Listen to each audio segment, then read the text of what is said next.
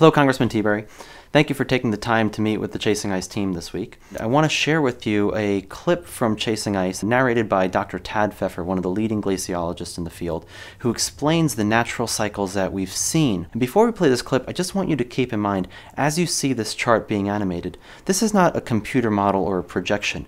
This is actual empirical data that scientists are collecting and measuring, and we know that this is a very, very strong, accurate representation of history. The Greenland and Antarctic ice sheets are these giant domes of ice that preserve climate records very much like tree rings. Snow is added to the top, turns into ice, and ice core scientists can drill holes through the ice sheets and pull out a core and examine not only the ice, but also bubbles of ancient air that are trapped in the ice. By looking at the chemistry of the ice, we can learn about past temperature, and by looking at the air, we can actually measure the carbon dioxide content. And one of the things that we learn is that past temperature and carbon dioxide vary together. They go up together, they go down together. And over the last 800,000 years or so, atmospheric carbon dioxide was never higher than about 280 parts per million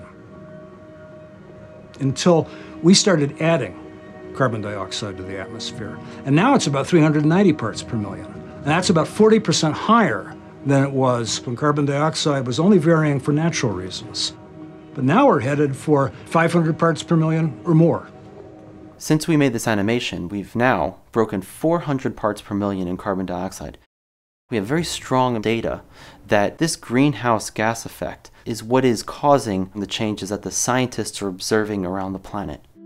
If you actually study all the peer reviewed literature over the last 23 years that say anything about global warming, 0.1% of them deny that humans are causing global warming.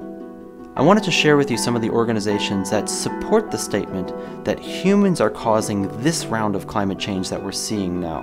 It starts off with the US Climate Change Science Program that was created by President Bush, and the US National Academy of Science, and in fact, every major scientific organization who has members that include climate scientists, the experts that are studying this field, all say that man made climate change is happening.